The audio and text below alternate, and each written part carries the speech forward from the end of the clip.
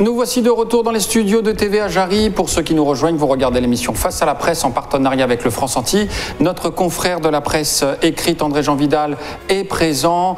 Euh, Aujourd'hui, notre invité, Monsieur Harry Chalus. On démarre sans plus tarder notre rubrique euh, Le tiercé. Alors, Monsieur le Président, je vous rappelle tout simplement le principe du tiercé. Je pense que vous jouez peut-être au tiercé Non. Non, du tout. Je vous, êtes pas, vous jouez pas au tiercé, pas, de- pas de PMU. Et donc, bah, vous allez avoir un petit pavé euh, numérique qui va s'afficher. Il faut choisir un chiffre entre 1 et 10. Alors, 6. le numéro 6, un chiffre pair. Euh, Marilus Panchard avait choisi le même chiffre la semaine dernière. Donc, euh, que pensez-vous du remaniement du gouvernement Le 6, c'est ma date de naissance. Ah, Et c'est un chiffre que j'aime beaucoup. Le remaniement, euh, pour moi, c'est normal. Il n'y a rien euh, d'extraordinaire. Effectivement, comme le président l'a dit, il a pris son temps pour pouvoir refaire ce remaniement, consulter les hommes. Trop souvent, dès qu'un ministre partait, on le remplaçait dans l'après-midi. il fallait ce remaniement? Oui, je pense que si après quand même euh, 18 mois, je crois, un remaniement peut être nécessaire, je le dis. Ce qui est important, c'est que notre ministre de l'Outre-mer est resté en place. Je savais, je le- L'impact justement de ce remaniement sur notre département, c'est quoi Mmh, C'est c'est suite à son passage en Guadeloupe euh, qu'il a fait un remaniement. Non, non, non, non, non, Madame Béchir est restée ministre de l'Outre-mer. C'est une femme qui bosse, qui travaille, Mhm.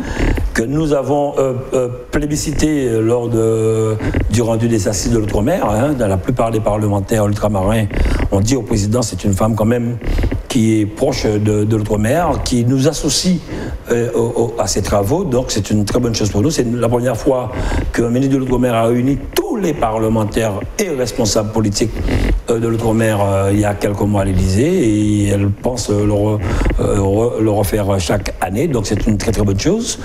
Et nous avons un ministre de l'Intérieur qui est devenu Castaner, qui est quelqu'un avec qui j'ai de très bonnes relations, qui était le président d'En Marche, avec qui nous allons continuer à travailler, surtout sur la mutation des fonctionnaires, hein, des policiers, des gendarmes que nous voulons ici, euh, sur aussi euh, cette évolution institutionnelle. Je pense que c'est lui qui aura en charge ce dossier, et même aussi sur le redécoupage euh, politique. Donc, euh, à part cela, euh, il y a eu quelques Donc c'est plutôt bien. normalement de la culture. Il faut du sang neuf à certains moments. C'est comme une équipe de foot. hein. Il faut du sang neuf pour repartir, pour rebondir. C'est normal. Euh, Emmanuel Macron est- a, a le courage de faire ce que d'autres n'ont pas fait. hein. Euh, les réformes que les Français attendaient depuis des années, même s'il y a eu plusieurs grèves en métropole. Mais rappelez-vous les sondages concernant la, la SNCF, c'est 69% des Français qui étaient d'accord avec lui. Donc c'est clair. Il y a des choses qui font mal quand vous le faites, mais il faut savoir après en tirer bénéfice. Et j'espère que c'est cela. Comme je le dis, il a 40 ans, 41 ans décembre, le 20 décembre. Je ne pense pas qu'un jeune qui entre en politique, qui n'a pas été maire et autre, qui n'a pas eu d'autre mandat, va mettre en jeu son avenir politique.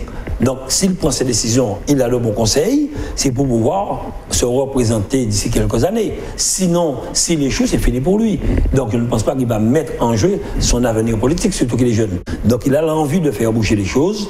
Peut-être qu'il y a effectivement qu'il y a des moments où c'est pas facile pour lui, mais quand même, il a cette envie. D'autres nous ont fait propos, des propositions sur les 30 propositions pour l'outre-mer. Qu'est-ce qu'on a vu? Qu'est-ce qui a changé pour nous? Rien n'a changé.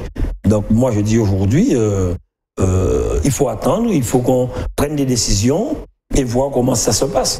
Mais il faut attendre. Alors, un autre numéro, s'il vous plaît, toujours entre 1 et 10. Vous pouvez évidemment pas sortir le numéro 6. Alors, le pavé de mosaïque s'affiche. Eh bien, le 10. Le 10. Alors, que se cache-t-il derrière la question numéro 10 André Jean, si vous voulez bien la lire. Et il manque un dé. Quid dans vos relations avec euh, messieurs Losbar et Serva qui se poussent du col pour vous succéder, non? Non, non, non. Vous savez, en politique, c'est toujours comme cela. Il y a deux choses. Soit Charles allait aux élections avec une équipe ou son groupe politique. Là, on n'aurait rien entendu, peut-être des frictions entre personnes. Mhm. Là, non. J'ai choisi de fonctionner avec des Guadeloupéens de tous bords, dans l'intérêt de la Guadeloupe. Les élus qui sont autour de moi, je le dis, font du très bon travail. Je suis détonné. Je ne le dis pas faire plaisir à qui que ce soit. Mhm. Je suis étonné de la compétence de tous mes élus qui se donnent, qui travaillent, qui m'impressionnent. Surtout que la plupart ont eu des délégations sur des domaines qu'ils ne maîtrisaient pas. Au départ, ils n'étaient pas contents et aujourd'hui, ils me disent. Vous pensez à qui? Madame Piran qui maîtrisait pas le, au débit les, nouvelles technologies, Madame Maggie Cellini qui ne maîtrisait pas l'énergie aujourd'hui, qui a sorti un projet. des climatiseurs pourtant. Qui a non mais poser des climatiseurs dans une entreprise et développer. C'est une, plaisanterie. oui, je sais. Développer l'énergie, mettre 87 millions actuellement au bénéfice des communes de Guadeloupe mhm. pour revoir l'éclairage public, c'est une première. Notre plan pluriannuel d'énergie est presque bouclé. Elle fait du travail magnifique. Le haut débit de Mme Piran aujourd'hui, d'ici deux, trois semaines, nous allons commencer les travaux. L'entreprise a été retenue pour relier les îles du Sud en partant de Trois-Rivières pour qu'en 2020, toute la Guadeloupe soit couverte en très haut débit. Mais c'est Mme Piran qui mène cela. Et messieurs Serva et, et Monsieur qui ont les dents qui traînent par. Euh, S'il fallait en choisir un entre un des deux. Pour... Non, non, ça c'est pas, il pourra pas le faire. Il a besoin d'eux pour euh, se. non, pour, monsieur, pour monsieur Losbar est responsable du budget. Mhm. Avec monsieur. Il fait du bon travail, je pense. Avec hein. monsieur. Il est, très sérieux. Serva, qui est délégué à l'économie. Voilà. Ils font du très bon travail. Mhm. Il suit de près. Il est président de la SEM. Il fait très bien son travail. Mhm. Et je le dis, il n'y a aucun problème entre ces personnes et moi et d'autres personnes du groupe. C'est vrai que des fois, on essaie de mettre la cisaille pour créer des histoires, mhm. mais sachez-le bien, mm n'a jamais eu de problème. Mhm. Il n'aura pas de problème. Je suis là pour la Guadeloupe, pour les Guadeloupéens. J'ai toujours dit à mes élus, le jour qu'il y aura un problème, je le dirai aussi aux Guadeloupéens. Mhm. Car nous sommes des hommes publics. Le public doit savoir. Les deux font leur travail. Même si des fois on peut ne pas être d'accord sur certaines choses, c'est normal. Ça nous permet d'avancer. Confiance absolue confiance absolue, car la Guadeloupe nous a fait confiance. D'accord. Moi, je ne suis pas, rassurez-vous, hein, je vous l'ai dit en début d'émission, je ne suis pas là faire carrière en politique. Mmh. Je suis là pour servir les Guadeloupéens et non me servir. Alors, si demain, certaines personnes souhaiteraient changer cette donne, ça c'est leur problème. Mmh. Mais pour l'instant, ça se passe relativement très bien. Façon, vous nous le direz à ce moment-là. Vous nous le direz à ce moment-là. Si je le dirai aussi. ah non, voilà, rassurez-vous, et ils le savent. Si on fait un Mais comme je vous le dis, vous Madame, vous parlez de personne, Madame euh, Duflo, qui est présidente de la RB. Mmh. Mais je découvre une femme extraordinaire qui se donne, qui travaille. Elle est docteur, docteur en, biochimie, je crois.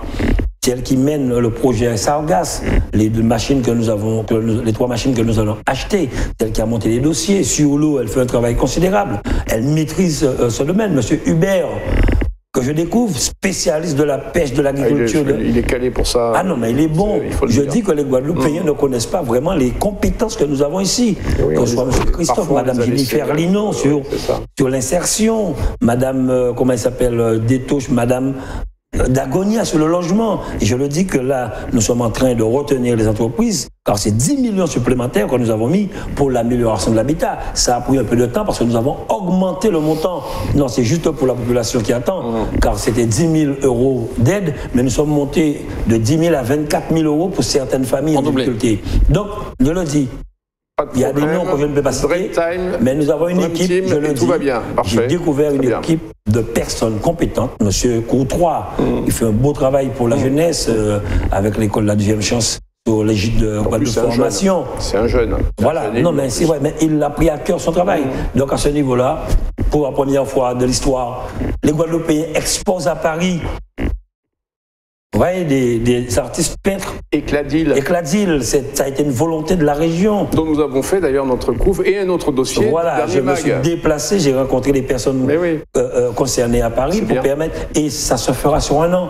Donc on sort, on fait des choses, et bientôt nous allons, nous allons passer en établissement public de coopération culturelle avec le Memorial Act ce sera encore un tourisme mémoriel que nous allons mettre en place. Donc nous sommes sur la bonne voie, nous travaillons.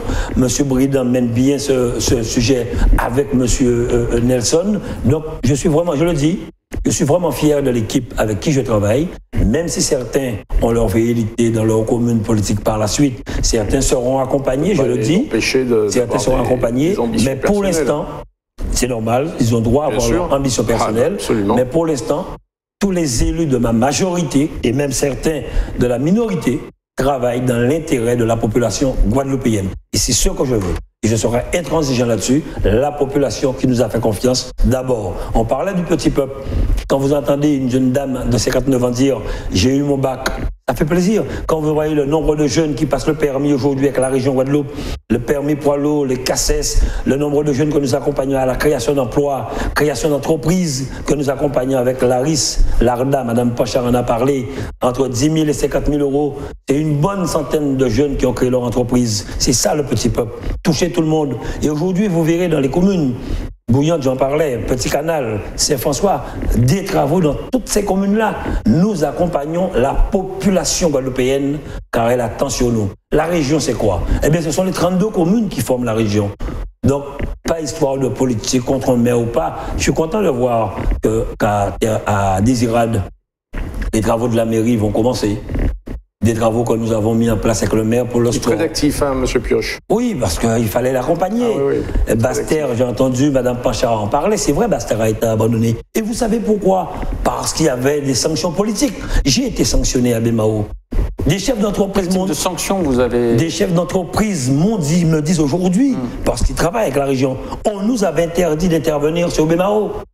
Vous pensez que tous ceux qui passent à Bemao, par exemple sur les routes ou le soir, ce sont des Bémarossiens c'est malheureux. Ça a été dit. Je le dis sur ma tête, ça a été dit, ça a été fait. Eh bien non, aujourd'hui, nous avons près de 6 millions de travaux qui vont démarrer sur Bastère. Parce que Bastère, quand même, c'est une ville d'histoire et d'art. Nous avons voté plus de 67 millions. Vous êtes d'accord avec la politique de Madame euh, le, maire de Bastère sur le fait de faire venir des, bateau de croisière sur. Mais euh, attendez, euh, ça rentre dans notre programme politique. Bastère, c'est une ville quand même, ville d'art et d'histoire comme Pointe-à-Pitre. Il faut que le, tourisme puisse descendre à Bastère pour amener de la croissance, pour que les commerçants, les artisans puissent pouvoir vivre. Il faut faire des travaux. Nous avons rencontré Madame Borel dernièrement pour voir comment rouvrir un peu, faire les travaux au niveau de la soufrière, hmm. reconstruire la petite maison. Justement, sur la soufrière, on en est où? Eh bien, nous sommes en train, les études sont en train d'avancer, m'a dit Madame Borel, de manière à ouvrir. Si la région doit intervenir, nous participerons, même si c'est pas de notre compétence départementale, avec le, avec le, dans les domaines. Euh, le, les téléphériques Non, non, non, les eaux forêts là. Le parc. Euh, bon, le parc, avec le parc. Nous allons intervenir, c'est dans l'intérêt des Guadeloupéens. Il y a, vous vous rendez compte, je me suis rendu là, il n'y a pas un endroit où une un homme, on peut pas sérieux, je le dis. Nous sommes des hommes, on peut aller pisser derrière un arbre. Mais une fille, une femme, il n'y a rien, pas de toilette. Eh bien, nous sommes prêts à intervenir. Je l'ai dit, je l'ai dit déjà à, la présidente. On met des toilettes dans les. Pour, dans la maison qui est là, ouvrir cette maison, réparer cette maison, mettre une boutique où on peut acheter à boire, des sujets, des, des, souvenirs de la Guadeloupe et mettre des toilettes pour le public qui vient. Pareil, nous avons été à, Capester. Donc nous sommes prêts à travailler dessus. Et c'est ensemble qu'on va aller. Donc Bastère doit revivre. Bastère, il y a un pont qui a été euh, endommagé à Bastère. Eh bien, nous avons commandé le pont qui arrive bientôt. Le boulevard va être aménagé, les routes vont être refaites. Il faut, on a éclairé, Madame Panchard vous l'a dit, le, parc du Champ d'Arbeau. Allez voir le monde qu'il y a là le soir. Mais c'est magnifique. Hum. Donc nous sommes prêts à accompagner toutes les villes. Et Pointe-à-Pitre, Pointe-à-Pitre, ils n'ont même plus de quoi payer les, les, la lumière Pointe-à-Pitre est accompagné de la même manière. La, lumière, comme je vous l'ai dit, bah nous avons lancé. la lumière aussi à Pointe-à-Pitre. Nous avons lancé l'opération euh, éclairage rénovation d'éclairage public pour 87 millions. Nous avons pour la Guadeloupe, pour l'ensemble de la Guadeloupe. L'ensemble de la Guadeloupe. Nous avons à peu près 20, je crois 23 communes mhm. et le CIMEC a répondu à l'appel d'offres à un nombre de communes. Et il y a 97% des communes que nous accompagnons, mhm. la région s'organise de manière à ce que ces communes ne puissent payer un euro. D'accord, c'est bien ça. Pour, oui, ça leur permet de faire des économies importantes euh, dans leur commune de 100 à 500 000 euros. Quand vous voyez, par exemple, nous sommes sous la déviation de, de, la, de cette Marie aussi. Ça fait mal de voir l'embouteillage qu'il y a l'après-midi. Eh bien, avec le maire de Capester, les élus de Capester, les élus régionaux, mhm. nous avons déjà identifié les terrains. Nous sommes en train avec un architecte, un, un géomètre de délimiter cela sur peut-être 3 km. Je veux qu'on puisse faire cette déviation rapidement pour soulager la population guadeloupéenne. Merci. Nous avons attaqué les travaux du boulevard Lacavé à Capester, que nous finançons avec le maire de Capester. Donc, je ne regarde pas la couleur politique de qui que ce soit. Je regarde les Guadeloupéens Et je le redis, je ferai tout pour satisfaire ces Guadeloupéens. Merci. Alors, un dernier numéro avant de passer à la dernière rubrique de cette émission. Un numéro toujours entre 1 et 10 et vous avez choisi le 6 et le 10. Donc, il faut choisir un autre numéro. Je suis un homme, je suis toujours père, donc je choisirai le 4. Le 4. Alors, que se cache-t-il derrière la question numéro 4 Elle apparaît tout de suite. Qu'attendiez-vous de la venue du président de la République? Vous savez, ça a été de coutume que les présidents passent en Guadeloupe euh, pour voir un peu comment les choses avancent. Hum, Et j'ai connu, j'ai vu des présidents passer qui sont restés peut-être sur un seul site. Effectivement, la venue du président, les annonces météorologiques n'ont pas arrangé les choses, si bien que beaucoup de choses ont été modifiées au dernier moment. Mais au moins que le président puisse voir un peu comment se porte notre région, ce que nous attendions. Il a parlé de l'hôpital, du CHU. Le CHU que je vous ai dit que nous aurons 67 millions, parce qu'on n'en parle pas. Est-ce que sa venue a fait bouger quelque chose On, on verra même pas tout de suite. Il n'y a pas un mois qu'il est passé. Il n'y a même pas 15 jours. Nous sommes le 16. Il y a 15 jours qu'il est passé. C'est d'ici 2-3 mois, on verra. Parce que le préfet a. Qu'est-ce qui est le plus important euh, pour vous sur lequel C'est le- l'accompagnement sur l'eau, les déchets et surtout le, la construction du CHU ne s'arrête pas. Les travaux ont commencé, on puisse continuer. D'accord. Car nous avons un, un impératif aussi à la région, les 67 millions de travaux que nous aurons à faire autour, mais surtout le campus sanitaire et social. Nous avons livré celui de Basse-Terre, nous avons remis dernièrement les clés au directeur de l'hôpital, mais nous avons ce campus à construire à côté de l'hôpital. Mais le plus important, et on ne le dit pas souvent, c'est le U du CHU. Car nos voisins sont en train de préparer leur euh, campus aussi. Mais c'est la faculté de médecine de plein exercice que nous aurons à construire. Nous avons déjà mis 10 millions dans notre plan pluriannuel d'investissement pour ce- cette faculté de médecine de plein exercice. Un jeune Guadeloupéen restera en Guadeloupe faire sa formation. Donc, il faut que par la suite les choses bougent, mais comme je le dis, c'est nous Guadeloupéens, en nous unissant, en mettant à un certain moment de côté la politique, en pensant Guadeloupe, en pensant à la jeunesse guadeloupéenne, la jeunesse aujourd'hui qu'on ne peut plus mentir. Fini cette histoire que vous allez emmener votre fils voter, hein, comme maman. Fini quand vous allez lui dire, tiens ton bulletin. Nous avons une jeunesse formée, une jeunesse qui comprend. Les réseaux sociaux font très très mal aujourd'hui. Ce qui est important, je le dis, n'en déplaise à certains, on peut ne pas m'aimer, mais j'ai la volonté, et cette volonté forte au fond de moi, de m'investir, de trouver des solutions, de développer et de travailler pour la Guadeloupe. Et Dans les ce que réseaux sociaux, qu'est-ce que vous entendez par faire mal? Les réseaux sociaux font mal parce qu'aujourd'hui, si vous mentez à une jeune personne, à, à la jeunesse, il est clair que ça vous retournera dessus. Ils vont le dénoncer sur les réseaux sociaux. Avant, ça n'existait pas. Les- ma génération, on nous a dit, votez pour nous, on fera pour vous, on n'a rien vu. C'est pour cette raison, si je pense que je me suis laissé tenter par cette jeunesse qui m'a poussé. Et c'est pour cette raison, je n'abandonnerai jamais cette jeunesse. Car ce sont des jeunes, je le dis, qui n'avaient pas 18 ans, mais qui savaient qu'ils allaient pouvoir voter deux ans après, parce que ça s'est passé en 99, quand ils m'ont poussé à les élections. Je leur ai dit, ouais, mais vous me dites ça, vous n'êtes pas inscrits. Ils m'ont dit qu'ils ont commencé à faire le travail. Et ces jeunes ne peuvent pas dire qu'Arichal les a abandonnés. Ils sont tous là. Et c'est pour cette raison que d'ici quelques jours, nous sommes en train de travailler avec plusieurs associations sur la Guadeloupe. Nous allons lancer les états généraux de la jeunesse. Je veux que chaque personne aille dans chaque quartier, dans chaque coin, j'irai aussi à la rencontre des jeunes Guadeloupéens, leur demander qu'est-ce que vous voulez, qu'est-ce qu'on peut faire pour vous, quelle formation, et Guadeloupe Formation, et même les lycées sont là, sont prêts à nous accompagner. On veut mettre en place l'Institut des métiers de la mer à Terre de Bas pour permettre aux jeunes de devenir capitaines. On a à peu près 100 moniteurs de plongée sous-marine en Guadeloupe. Deux Guadeloupéens. Il faut que ces Guadeloupéens puissent aussi faire ces formations. Il y a des formations d'entraîneurs de football, de basket, de hand. Nous l'avons fait à Bémaro. Nous avons des jeunes qui ont créé leur entreprise. Et aujourd'hui, on ne le dit pas, mais je suis fier de voir qu'il y a du Zumba, des cours de Zumba partout en Guadeloupe devant la mairie. Nous avons commencé cela à Bémaro il y a plus de 10 ans. Bien, merci pour ce tiercé. Nous passons maintenant à la rubrique suivante, c'est l'heure de l'ordonnance. Alors, je vous rappelle le principe de l'ordonnance. C'est comme si vous étiez un docteur ou un avocat. Il va falloir nous faire une prescription en matière, par exemple, d'économie. Que faut-il faire en matière d'économie? Point 1, 2, 3 et 4. Et euh, ma demande de prescription, c'est que vous l'aviez abordé là il y a un instant, la Guadeloupe est en manque euh, d'élite et nos jeunes partent euh, souvent faire leurs études et ne veulent pas revenir au pays. Que faut-il faire? Quelle est votre prescription justement pour les faire revenir? Je ne dirais pas que les jeunes ne veulent pas revenir parce que quand je suis arrivé maire de Bimao, beaucoup sont venus travailler avec moi. Je suis arrivé à la région, beaucoup sont venus travailler. J'ai même été faire des auditions à Paris. Le CTG vient de faire des auditions à Paris, parce que le CTG passe aussi en établissement public. Il faut que nous puissions donner confiance à ces jeunes. Il est clair qu'il y a des formations que nos jeunes sont obligés de partir pour les faire à l'étranger ou dans l'Hexagone. Donc, un, la confiance des jeunes. Voilà. je viens de parler de, de la faculté de médecine de plein exercice. Dès qu'elle sera construite, nos jeunes n'auront plus à partir à Bordeaux, à Montpellier.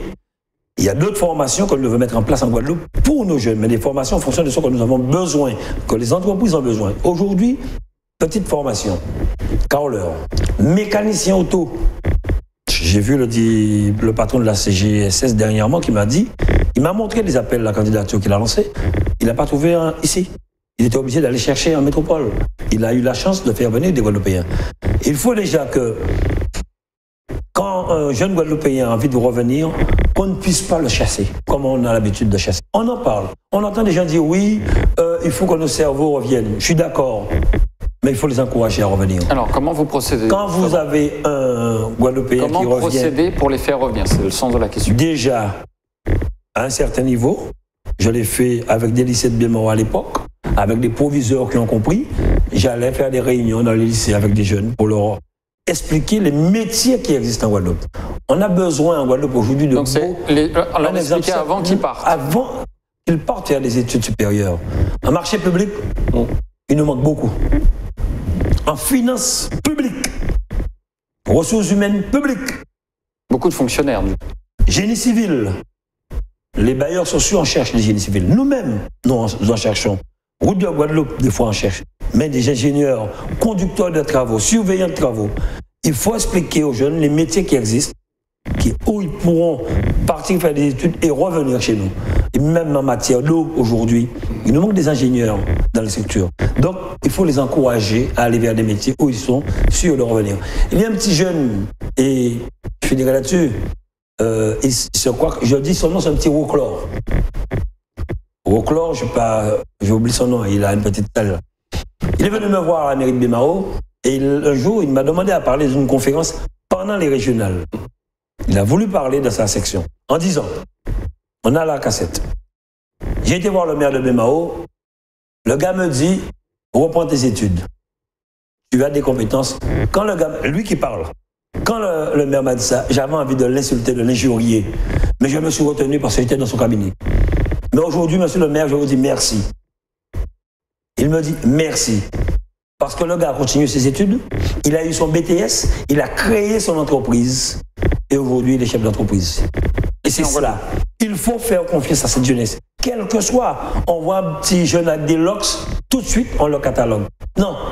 Ça peut être un gars qui a beaucoup d'idées, qui est un gars qui a beaucoup de compétences. Il faut l'accompagner. Je prends cet exemple souvent. Les jeunes qui ont 7, 8, 10 ans, qui ont des maillots de footballeurs ou de basketteurs, qu'est-ce qu'ils ont dans le dos?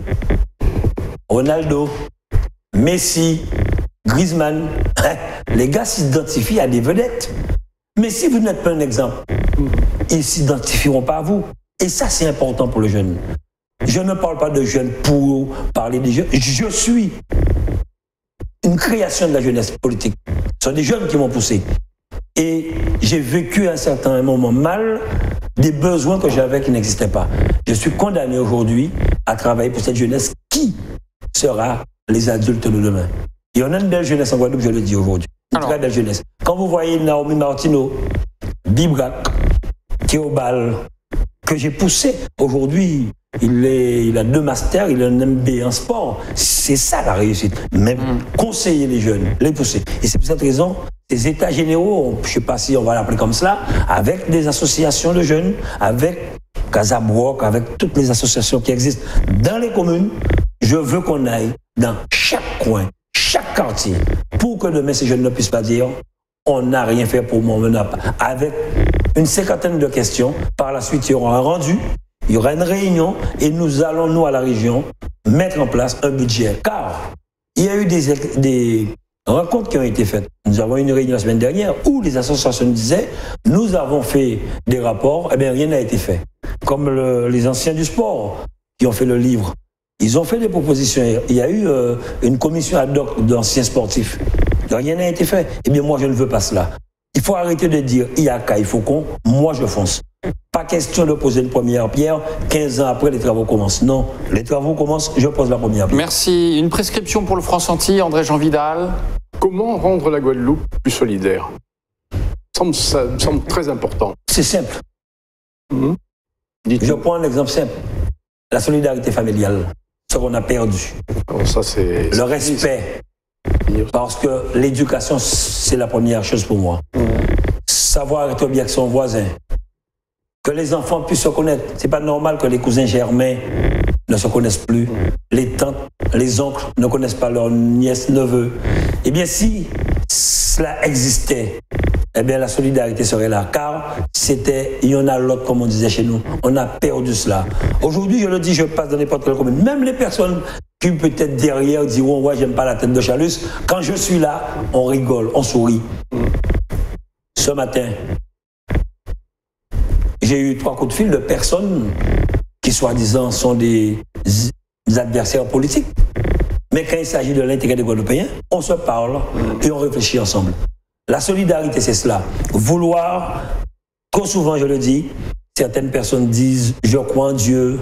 Quand ces personnes prient, disent pardonnez-moi comme je pardonne, mais ne pense pas à cela. Il faut que ce que vous dites de la bouche puisse sortir du cœur. Cette solidarité, on peut l'avoir. Moi, je suis bien. Mm. Je suis bien en Guadeloupe, je n'ai aucun problème, je suis bien avec tout le monde. Même ceux qui ne m'aiment pas, je ne les en veux pas, je les aime. Parce que le jour que vous mettrez dans votre tête, et je prends l'exemple d'Harry Chalus et d'André Jean Vidal, nous sommes même toi et moi. Non. Demain, je passe, comme ça m'est arrivé. Tu as un accident au mamel où il n'y a pas d'électricité, où il n'y a pas de réseau, Richard passe, il te portera secours. Je te rendrai l'appareil. Eh bien voilà, c'est ça la solidarité.